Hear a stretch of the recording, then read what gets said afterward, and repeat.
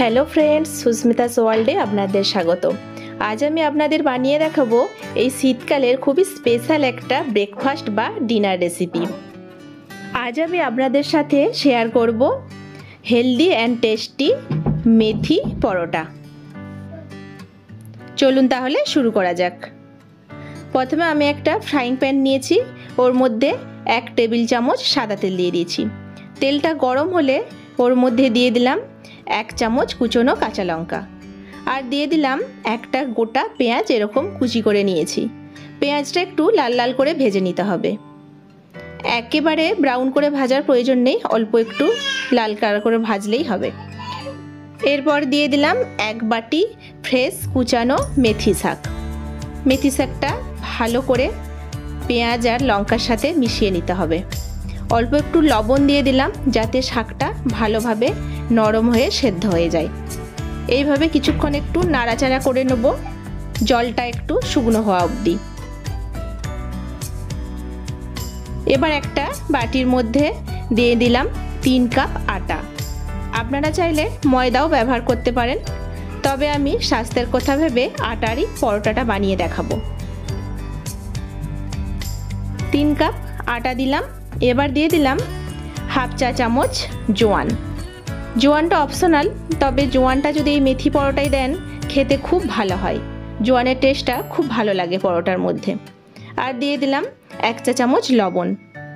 এবার দিয়ে দেব দু চামচ চিনি। এই মেথি পরোটাতে চিনিটা অবশ্যই ব্যবহার করবেন, যাতে করে মেথি শাকের যে একটু তেতো ভাব থাকে, এই চিনিটার সাথে ব্যালেন্স হয়ে যাবে, আর পরোটাটা খেতে ভালো লাগবে। আর দিয়ে দিলাম তিন চামচ সাদা তেল। এবার ভালো করে হাতের সাহায্যে সমস্ত কিছু উপকরণ মিশিয়ে নিতে হবে। সমস্ত উপকরণ খুব ভালোভাবে মেশানো হয়ে গেছে। এবার আমি এই শুকনো উপকরণের মধ্যে অ্যাড করব মেথি শাকটা। মেথি শাকটা দিয়ে খুব ভালোভাবে মেখে নিতে হবে। আপনারা চাইলে মেথি শাকের পরিমাণটা আরেকটু বাড়িয়ে দিয়ে শুধু মেথি শাকটা দিয়েই আটাটা মেখে নিতে পারেন। এখানে আমার একটু জল লাগবে। আমি অল্প অল্প করে একটু জল ব্যবহার করেছি। একবারে বেশি জল দেওয়া যাবে না। জলের পরিমাণটা খুব অল্পই লাগবে। তাই আমি অল্প অল্প করে দু তিনবারে জল দিয়ে ভালো করে ডোটা মেখে নিয়েছি। ডোটা খুব ভালো করে মাখা হয়ে গেছে। এবার একটু সাদা তেল দিয়ে ডোটার গায়ে ভালোভাবে মেখে নিয়ে পনেরো মিনিট রেস্টে রেখে দেবো। পনেরো মিনিট পর ফিরে এলাম। আবার একটু হাত দিয়ে ডোটা ভালো করে একটু মেখে নেব। ভালোভাবে একটু মেখে নেওয়ার পর এবারে আমি লেচি কেটে নেব। একটু বড় বড় সাইজেরই আমি লেচি কেটে নেব, যাতে পরোটাগুলো একটু মোটা মোটা বেলা যায়। এবার বেলনি চাকি দিয়ে পরোটাগুলো বেলে নেব। প্রথমে একটু আটার গুঁড়ো ব্যবহার করেছি। তেল দিয়ে না বেলে আপনারা এই পরোটাটা একটু আটা গুঁড়ো দিয়ে বেলে নেবেন। আর এইভাবে বেশি চাপ না দিয়ে হালকা হাতে প্রেস করে বেলে নিতে হবে। আমি তাওয়া গরম করে নিয়েছিলাম। এবার পরোটাটা তাওয়ার ওপরে দিয়ে দিয়েছি। তাওয়ায় দিয়ে গ্যাসের সিমটা লোতে রেখে একটু উল্টে পাল্টে ভালো করে ভেজে নেব। প্রথমেই তেল ব্যবহার করব না, তাহলে পরোটাটা ভালোভাবে ভাজা হবে না আর মুচমুচে হবে না। দেখুন, পরোটাটা শুকনোতেই খুব সুন্দর করে সেকে নিয়েছি। এবার আমি এক চামচ ঘি দিয়ে দেবো। আপনারা চাইলে সাদা তেল ব্যবহার করতে পারেন। আমি এখানে ঘি দিয়েছি। অল্প পরিমাণেই আমি ঘি ব্যবহার করলাম। ঘিটা দিয়ে দুটো দিক খুব ভালোভাবে ঘিটা মিশিয়ে নেব পরোটাটাতে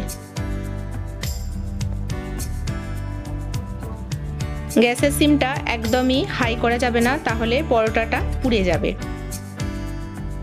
এইভাবে প্রেস করে করে চারিপাশটা খুব সুন্দর করে পরোটাটা ভেজে নিতে হবে। যাতে করে ধারগুলোও সমানভাবে ভাজা হয়। লো আঁচে পরোটা ভাজলে পরোটাগুলো খেতে খুব মুচমুচে হয় আর পরোটাটাও খুব ভালোভাবে ভাজা হয়। আবারও একটা পরোটা ভেজে দেখিয়ে দিচ্ছি, ঠিক একই রকমভাবেই পরোটাগুলো ভেজে নেব। আজকের এই সুন্দর হেলদি অ্যান্ড টেস্টি রেসিপিটা যদি আপনাদের ভালো লেগে থাকে, তাহলে অবশ্যই একটা লাইক করবেন আর অন্যদেরকেও শেয়ার করে দেখার সুযোগ করে দেবেন। কমেন্ট করে আপনাদের মতামত জানাবেন, আপনাদের কেমন লাগল? তৈরি হয়ে গেল সুন্দর একটা ব্রেকফাস্ট বা ডিনার আপনারা ব্রেকফাস্ট বা ডিনারে দুটোই এই পরোটা খেতে পারবেন। দেখুন কতটা নরম আর সুন্দর একটা মুচমুচে হয়েছে। যারা আমার চ্যানেলটিকে এখনও সাবস্ক্রাইব করেননি, তাদের কাছে অনুরোধ রইল আমার চ্যানেলটিকে সাবস্ক্রাইব করে আমার পাশে থাকার জন্য। সকলেই ভালো থাকবেন। বাই